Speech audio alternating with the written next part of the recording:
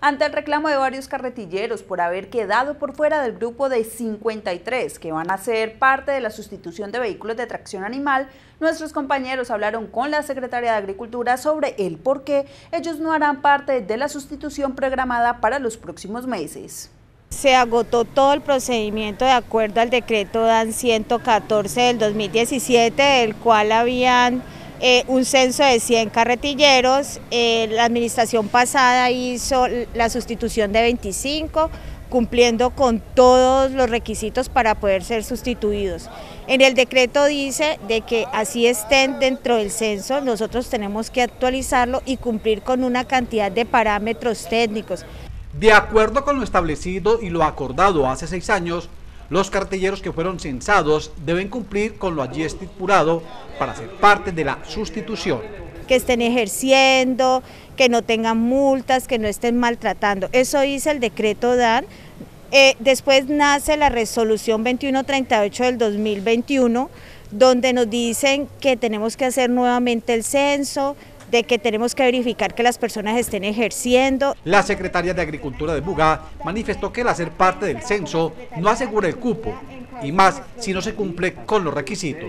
El solo hecho de que se encuentre en el censo no significa que tengan un derecho. Eso es tener una expectativa. Se debe cumplir con todos los requisitos para ser sustituidos dentro del marco de la ley.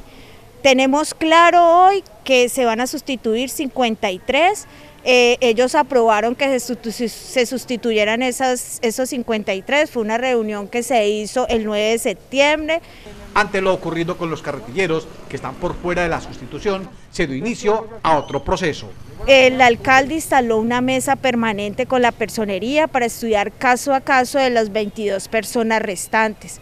Hay personas que ya no ejercen y no viven en la, en la ciudad hace tres años, como hay personas que fallecieron y no podemos entregárselo porque tiene dos esposas, o hay casos donde la persona estaba detenida hace un año, entonces no ejercía, entonces no cumplimos con los parámetros de ley.